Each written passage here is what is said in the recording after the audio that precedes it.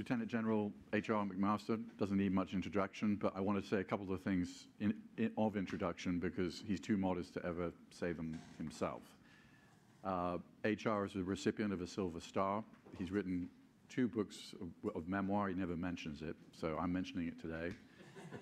As you, some of you know, H.R. was a Army captain who fought uh, a, a, particular maneuver in the first Gulf War that is still taught in Army war colleges, which is, in the space of 23 minutes, his troop that he commanded uh, destroyed 25 Iraqi tanks, uh, 80 Iraqi lorries, um, and it is seen as a classic example of tactical maneuver. Fast forward to the second uh, Iraq War, um, HR uh, went, it, went, into a town called Tal Afar, which Al Qaeda in Iraq had taken over completely in 2005. In that town, uh, Al Qaeda was killing everybody, and HR dispersed his soldiers into small outposts around Tal Afar and completely destroyed Al Qaeda in Iraq using a totally new technique. And somebody called Philip Zelikow at the State Department heard about this and told it, mentioned the story to Condoleezza Rice, and clear, hold, and build became essentially the doctrine that helped turn the tide in the Iraq War, which HR was instrumental in producing as a colonel. Anyway, I'm going to talk to HR and we're going to have some questions. He signed books, but he has to leave at 9.50. He has a 10.30A Acela to New York. So I will... um, but the first thing I, I want to ask HR about, one of his goals when he was National Security Advisor was to be the funkiest national security advisor in, in, in American history. Now, admittedly, the bar is pretty low because that's like being the most amusing North Korean intelligence official. but, so, I mean, because if we think about uh, the, the, the, average national security advisor, Brent Scowcroft. Right, not funky. Uh, Brilliant, but not funky, not that funky. Steve Hadley. Well, uh, Steve, he's, he's a little funky. Denis McDonough. Not, not, not that funky. Jake, Jake Sullivan. Not particularly funky. But it, that says something about you. You grew up in Philly, and you grew up in an era of what? Yeah, it was, it was the transition between, you know, Motown into funk. You know, remember you know, the, you know, the Commodore's fourth album. I mean, I, I, you know, Earth, Wind, and Fire, and then, of course, Parliament Funkadelic, and, you know, yeah, I mean. And HR can actually recite some of in fact, in fact, one of his, uh, one of his lines is, is the other Clinton. Yeah, I, I, I, sometimes when I give a talk, I'll, I'll, end with the Clinton quotation. People are like, "Oh, really?" You know what? But of course, I'm, I'm talking about George Clinton, a Par Parliament Funkadelic, who, who, was really, I mean, kind of a stoic philosopher, right? And, and the, the, line I like the most because it applies to us these days is, "If you don't like the effect, don't produce the cause." You know. and uh, anyway, situation is just that; it has no power over you. It sounds like that sounds like Epictetus to me. You know. so, HR, you, you just came out with, a, with uh, At War with Ourselves, which I think is a book that operates on two levels. First of all, being in the Trump White House, and then the polarization we have in American society. Uh, it's number two on the New York Times bestseller list, so congratulations on that. Um, I mean, what, what, what, what do you want people to take away from the book? Well, hey, thanks, Peter, and thanks, Anne Marie and Jim, for the opportunity to be here. I really, I love this partnership. It's fantastic. You know, uh, policy and analysis married with education. That's what we need more than anything. And it's relevant to the theme of the book, which is hey, I think what we really need to do these days is to try to understand better the most significant challenges and opportunities we face, come together for meaningful, respectful discussions about those challenges and opportunities, and then work together. You know, work together within our nation and with Uh, with our strategic partners and allies ar around the world to build a better future for generations to come. And so the title "At War with Ourselves" is, you know, it just alludes to the fact that we're at war with ourselves because of the vitriolic nature of the partisan discourse, political discourse.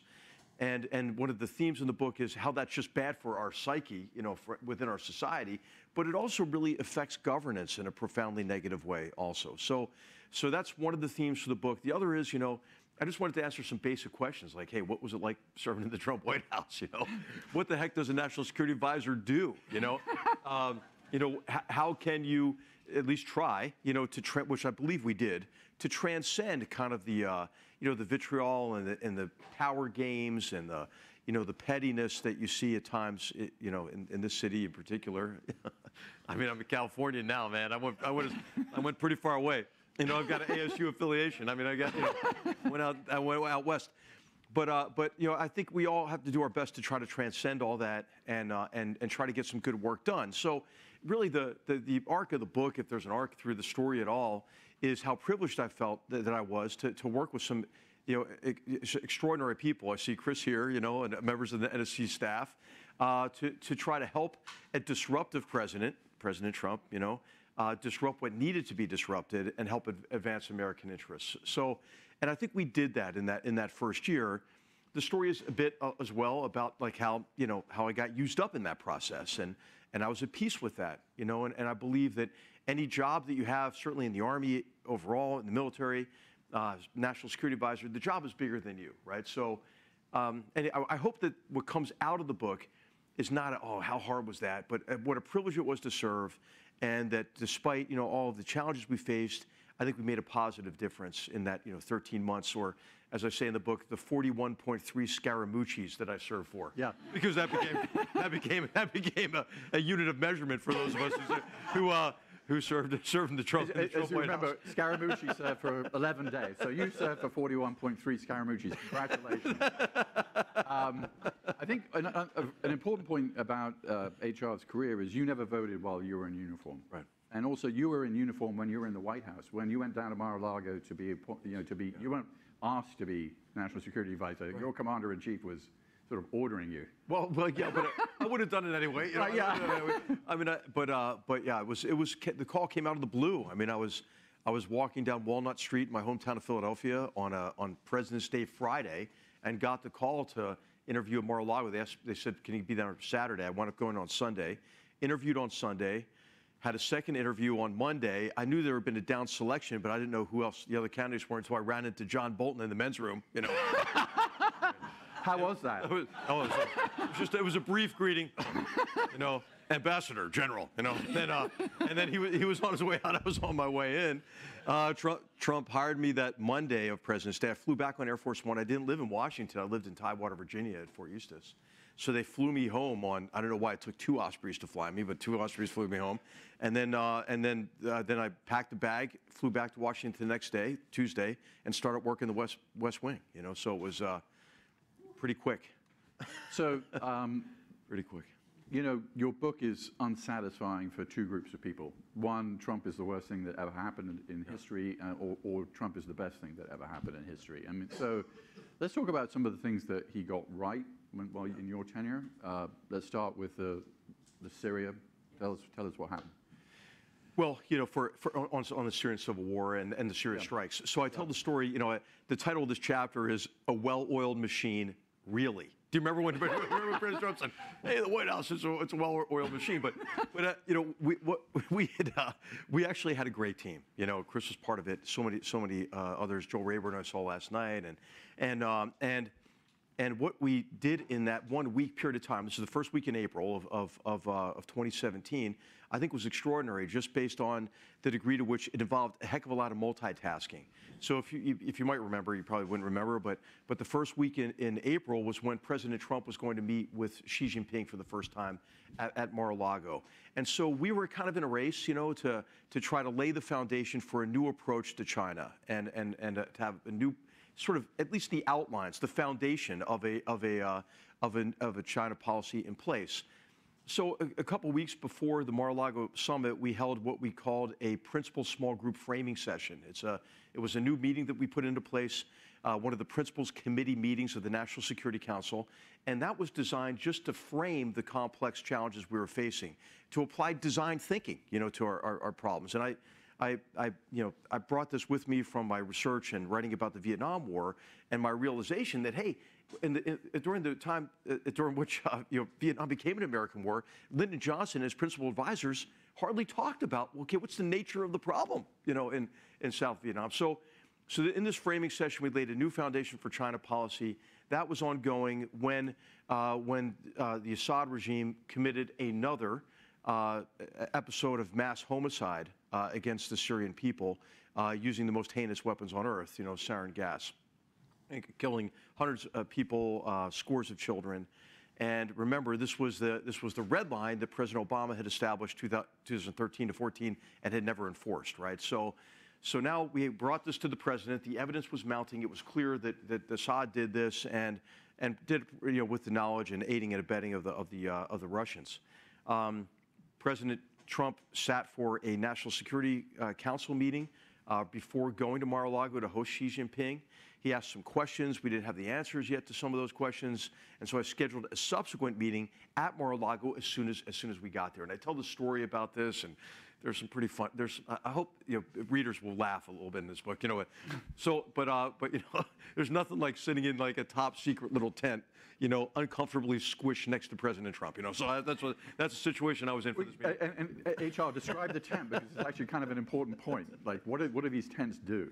So what they what they do is they they, they uh, there's outside the tent there's noise and so it's dampening and you can't. So if, if an, an, an enemy, an adversary, were trying to collect on you, it's just another layer of security, right? So, so we uh, did a video telephone conference, secure video telephone conference, back to the Situation Room. Um, Vice President Pence, who is phenomenal, I bel in, in my view, uh, as Vice President, he's on the other end um, uh, in the Situation Room and we answer the president's questions.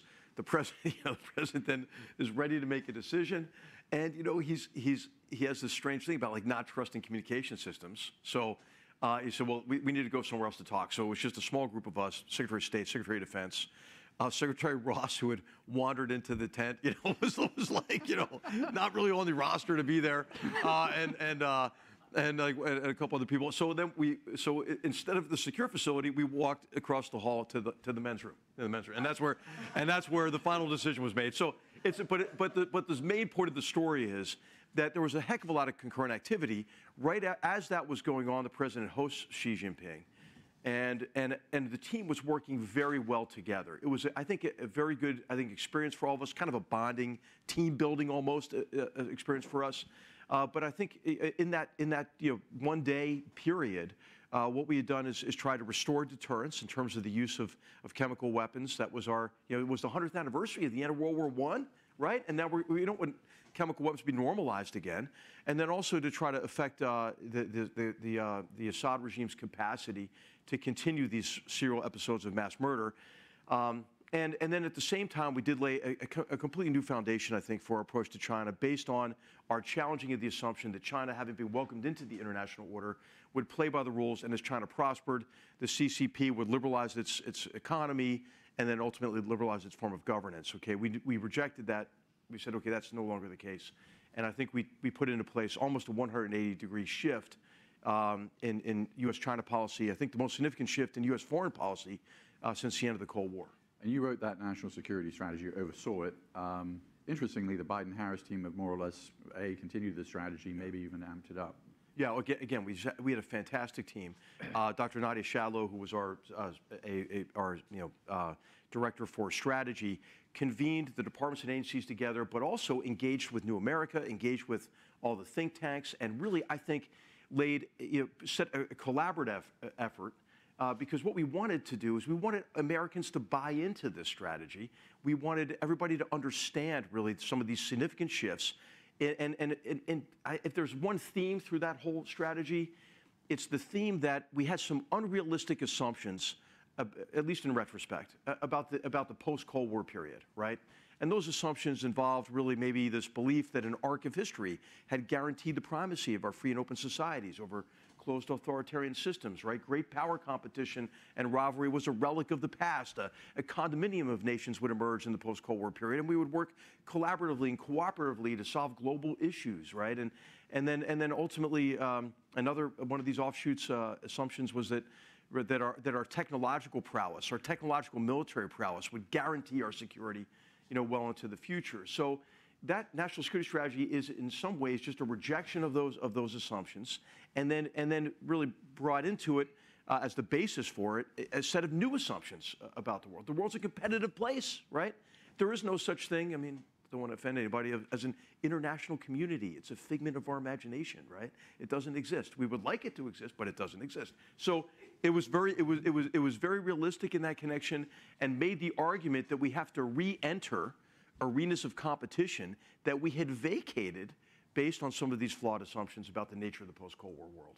And so I, I think it was an overdue shift in policy, uh, but I think maybe this is, again, one of the things about, you know, President Trump. He's disruptive, you know, but, but there were things in Washington, in my view, that needed to be disrupted at that time. Now, he's also so disruptive that he disrupts himself, you know, and becomes the antagonist in his own story. And so that's also a, a theme in, in the book. Yeah, and- but, you know, pr- the Biden-Harris administration kept the Chinese tariffs. In fact, they amped them up, 100% Yeah. tariffs on Chinese electric vehicles, uh, and, you know, uh, and so, I mean, it seems to be a feature of American foreign policy that is, Ab- ab- Absolutely, I think so, and, and I think the Biden administration deserves a lot of credit for that in terms of, you know, refining uh, some of the application of the tools of economic statecraft. I think it's still inadequate. I think we have to do much, much more. Uh, we've seen even more and more evidence these days with the threat of, of Chinese embargoes on, on critical materials and, and minerals and so forth that we have been too complacent in allowing the Chinese Communist Party to gain coercive power over our economy.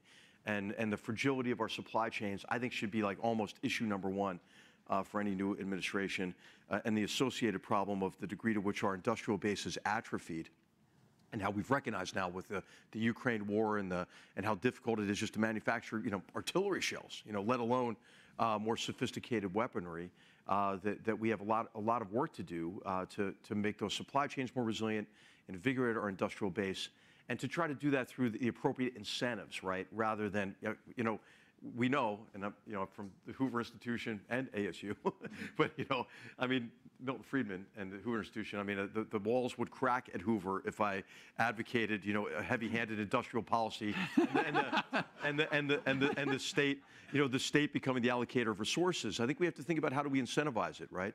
I mean, multi-year contracts for the Department of Defense, for example, to send the right demand signal to the defense industry, which we know, you know, these are not charitable organizations, right? so, so we have to, we have to really, I think, work hard at this, and and we're already behind, right? It's already a crisis. One of the things I'm concerned about is the is the Biden uh, defense budget, which would be a, a real reduction in defense spending at this moment. Really, I mean, so I I think we're you know the, the 1930s analogy can be overdone, but I do think what George Marshall said about that period of time is really appropriate to today, which is, hey, when you have the time, you don't have the money, and when you have the money, you don't have the time. And so we're, already behind, uh, and, it's much cheaper, you know, to, prevent a war than to have to fight one. And, uh, I think we have a lot, of, a lot of work to do to strengthen our defense, and that, of course, as I mentioned, that entails as well making supply chains more resilient and invigorating our industrial base. You know, you mentioned Vietnam earlier, your first book, which was your PhD at UNC, uh, Dereliction of Duty, which is um, an amazing book. I mean, I'm going to summarize the argument, and, I, and then I want to see how it applies to the Trump White House. I mean, the argument is basically the generals and people like McNamara basically told Lyndon Johnson what he wanted to hear, not what he should have heard or needed to hear. So you go into the White House, you've written a whole book about people being told what they want to hear rather than what they need to hear. How did that inform your time? And obviously, on the subject of Putin, you were telling some President Trump a bunch of things he wasn't particularly happy to hear. Sure, yeah. So, well, you know, it was qu- kind of a surreal feeling. I read about this in the book. I mean, I, you know, I had criticized the decision-making process during the Johnson administration, and in particular the role of McGeorge Bundy, who was running that process. And and then you know, I walk into the West Wing on that Tuesday, and now I'm in charge of the process I criticized from the, you know, from the And by the way, perspective of a historian. didn't know, you so- take wasn't the same office as McGeorge Bundy? wasn't Yeah, it? I think so. I think so. Yeah, or- or they call it the Kissinger suite, but I think it is. I Okay, think it well- was. Yeah, but but you know, so now it's like, okay, you know, smarty pants. You know, what, now, what are you going to do dif- different from that from uh, from that from that uh, that period of time I wrote about? So actually, you know, I took out a legal pad and I wrote down the five the five things that mistakes that I would try to avoid, so I would at least make new mistakes as national security advisor, not the old ones. And, and the first of these was to take more time thinking about the problem, which, as I already mentioned, the principal small group framing session was part of that. The second wa- was to establish clear goals and objectives. I mean, McGeorge Bundy had said, hey, it's better not to have an objective in Vietnam because that way, if we don't accomplish it, it will give the president, quote, more flexibility in the domestic political arena. Okay, so that didn't make sense to me. So we'll establish clear goals and objectives and, and get the president to approve those as part of that framing process. The third was to, to challenge assumptions. I, I had noticed that there were a lot of implicit assumptions that had underpinned our approach to Vietnam. And because those assumptions were implicit, they were never really challenged. So what I, what I endeavored to do with, you know, as I mentioned, the, the China small group framing session with North, the North Korea, uh, which also was an early uh, set of, of principles meetings, was to, to make those assumptions explicit, challenge them, and then, and then propose a new set of assumptions and make those explicit so everybody understood those. And then if we fell out of those assumptions, we could reframe, you know, the, the policy approach. Uh, the fourth key thing was to always provide multiple options. You know, I'd taken this from my own research, but also Peter Rodman's fantastic book, uh, Presidential Command. And, uh, and, and, uh, and then finally, I would try to, to wall off the development of, of policy options for the president from partisan political concerns, right? So I took certain measures to, to affect all of these. Yeah, good luck with that, right? Well, I mean, Steve Bannon was on the NSC. Right, and, so and you- I removed him from the, the, the principals committee of the, of the uh, NSC. Um, That was one aspect of that, yeah, that, that effort. uh, You call him a fawning court gesture. Yes, yeah. You were being polite? I was being polite. I was being accurate. I was being, I could have been, could have been worse, yeah. been worse. You, uh, you have some great scenes in the book. Oval Office meetings, which you describe, I think, as exercises in, exercises in competitive sycophancy. right. Well, this these are some of the early some of the early meetings, you know, and and what I noticed is that you know the people were trying to curry favor with the president. I mean, I think there. I read in the book that there are really three types of people who serve in any White House. I think this is true of any administration, right? There are people who are sworn federal officers, you know, military, civilian, uh, who, who are, are dedicated to their careers, or they come in as political appointees, but they understand their role. And, and I almost used a, an epigraph for the book, but my editor talked me out of it from Epictetus. You know, this is what is most important to play well the role assigned you, right? And so I think your role, if you weren't elected, right, is to provide the elected president multiple options and best analysis. So I think that's one group of people who are motivated to do that, right? To help the president uh, kind of determine his or her, her own agenda, uh, and then his or her make her, his or her own policy decisions. There's a second group of people, though, who I think come in to the White House or an administration broadly because they have their own ideas, right? They want to advance their own agendas. And there's a third group of people who kind of define their role as saving the country and the world from the president, right? And the problem with those two latter group, groups of people is nobody elected them. And not only are they not serving the president well, they're also undermining the Constitution of the United States. Because if, if we believe that sovereignty lies with the people, right, they're undermining you know, who the people selected, essentially, to be the president. And it's, it's the American people, it's Article 1 in the Congress and Article 3 in the judiciary. Those are the checks on presidential power, not, you know, not appointees or bureaucrats within the government. This, this theme of not, you know, um, telling people what they don't want to hear, I'm going to quote from your book. You told, you felt it was your duty, quote, to tell uh, President Trump that Vladimir Putin was, quote, was not and would never be Trump's friend. Then you added he's the best liar in the world, that he would try to play President Trump, manipulate him with ambiguous promises of a better relationship. Right. How did that go down? It went down exactly like that. I mean, that's what Putin does. I mean, Putin is, a, you know, of course, everybody knows, like he's, a, he's, he's the best operator, you know, and, and, and what, I, what I would try to do is, is, you know, eh, President Trump would respond well to, you know, to, to this idea that everybody before him was kind of a chump, you know, or like was, was you know, had, had fallen into the trap. So, but uh, President, President Trump's desire for a better relationship with Putin was motivated by his desire to have some kind of an entente where they could work together and solve some of the biggest problems. I mean, it was a genuine desire to address, for example, you know, strategic stability and maybe even reduction in nuclear arms, or to, you know, there were all sorts of issues that that President Trump wanted to advance with Putin. And I, but what I was trying to explain to him is that Putin's not going to sign up for that. He's only going to string you along so he can advance his own objectives, which were tactical, which uh, you know, sanctions relief. He wanted that more than anything in the near term, but he also wanted us out of Afghanistan, out of Syria, right?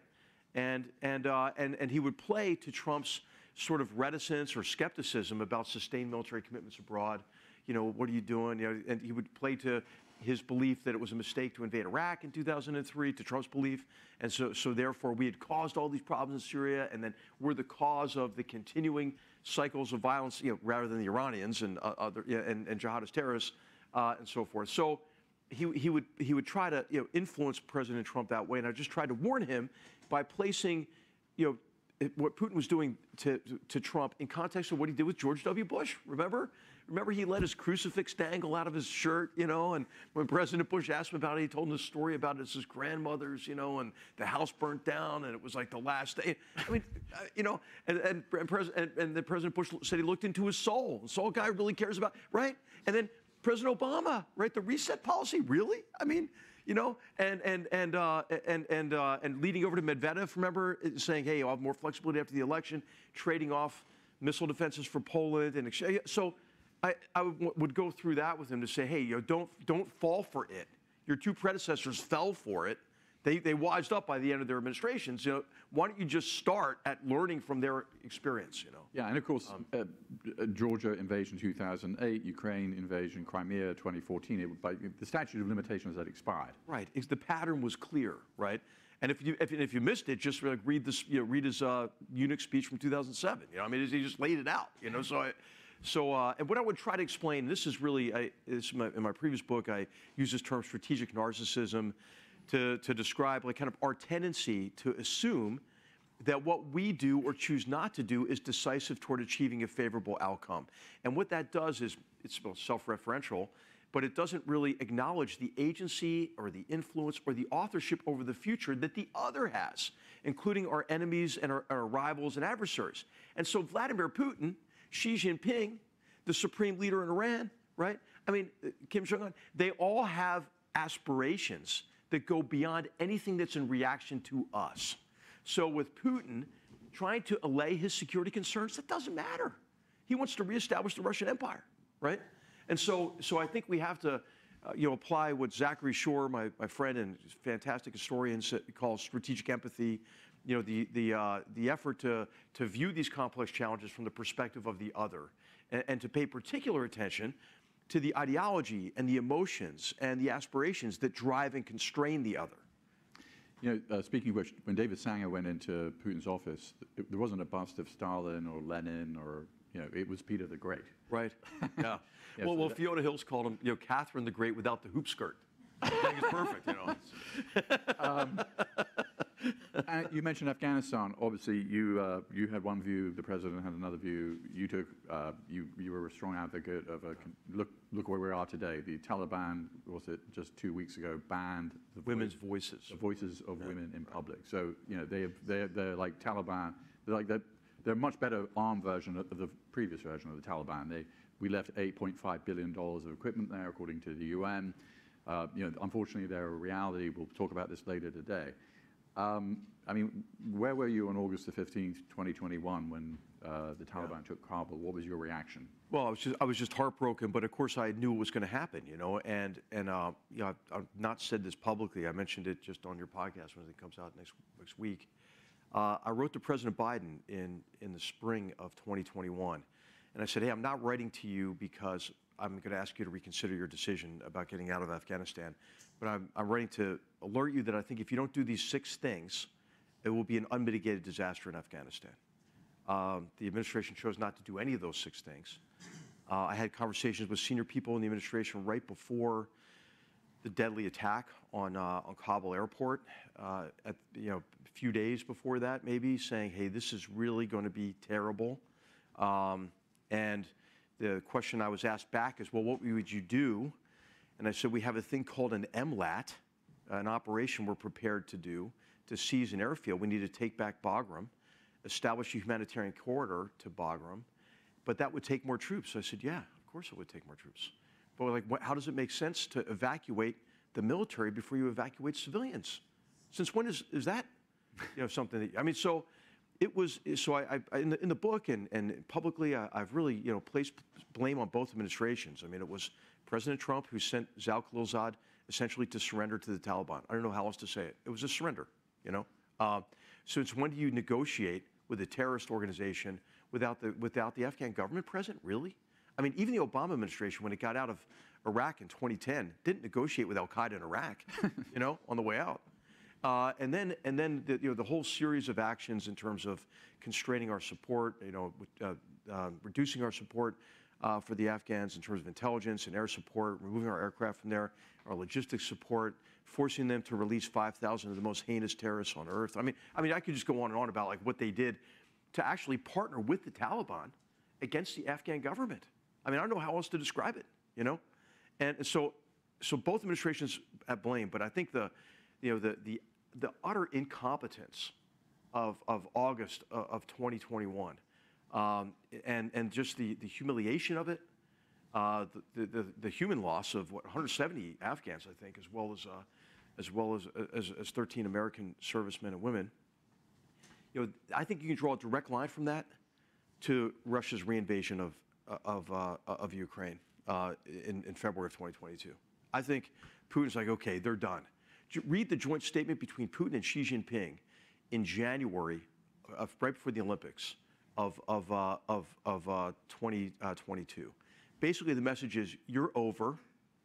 We're in charge now. Get used to it. That was the message to the world, you know. And I think that was directly related to the fact that we surrendered to a terrorist organization, and we had deluded ourselves to such a degree. You, you alluded to this already, Peter.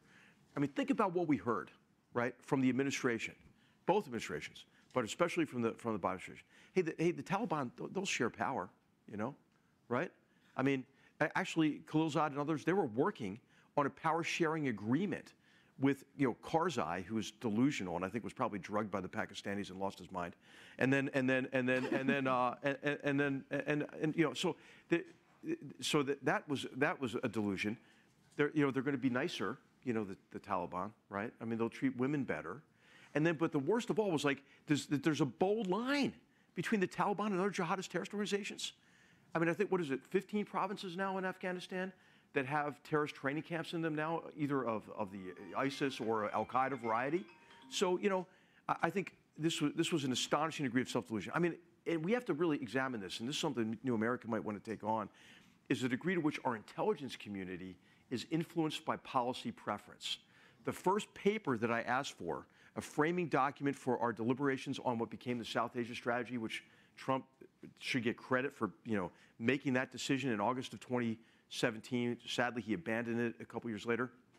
But the first paper I got from the intelligence community, I wrote across the top of it in a bold Sharpie, did we outsource this paper to the Taliban? I mean, it described the Taliban through all these, with all this delusion. I was like, man, it's, it's extraordinary to me uh, the degree to which the IC bought into the, you know, to, you know, I, I don't know, the, uh, the this, uh, you know, romanticized view uh, of the Taliban. Um, you're fond of uh, quoting Thucydides, uh, you know, fear, honor, and interest is why countries go to war. I mean, it's a sort of somewhat tragic view of history, I mean, in the longer term. Um, and what, what is your view of history? Well, you know, I, I think that uh, what we neglect oftentimes, and what gets us in trouble, is we neglect continuities in the nature of war. So, and, and, and really continuity is just in, in the human experience oftentimes. I think because we're Americans, which is a good part of our culture, you know, we're, we're always trying to affect change. We're thinking about the future. We're enamored with technology and technology's effect on fill in the blank, but warfare uh, and so forth. And when we neglect continuities is when we get into trouble. You know, the, the great historian Carl Becker, you know, he said that memory, uh, you know, memory of past and anticipation of future should walk hand in hand in a happy way, you know, and and Sir Michael Howard, in his fantastic essay, The Use and Abuse of Military History, says that we should study, you know, history, military history in particular, in width, depth, and in context, right? In width, so you can see changes and continuities over time. In depth, because you understand the complex causality of events and the tidy outlines of history kind of dissolve when you look at really how uh, you know, how multi-causal uh, uh, you know, problems are, or how they're related to so many causes, and you get a sense of, of the limitations on your degree of agency.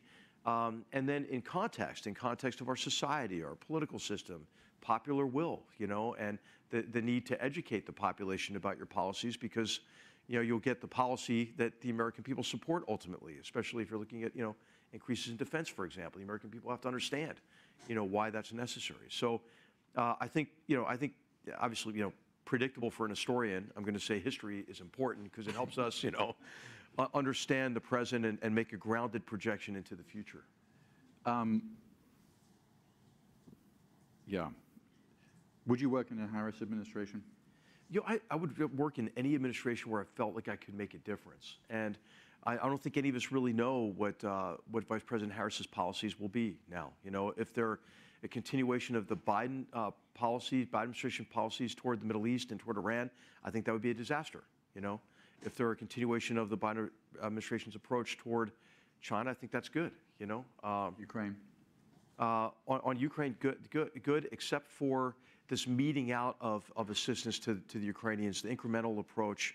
And then broadly, and I have a piece out today in the Free Press on this, and um, I, I think this, this, this idea of de-escalation, right? And, and the mantra of de-escalation and turn down the temperature, and we're just going to send signals. I mean, you know, what that means to the Iranians, the supreme leader hears this and he goes, oh, I have license to escalate on my own terms with impunity because you have to remember their strategy is to expend, if it takes, if this is what's necessary, every Arab life, every Palestinian life, in their effort to drive us out of the region as, as, as step A to the step B of destroying Israel and killing all the Jews. I mean, that's really what they want to do.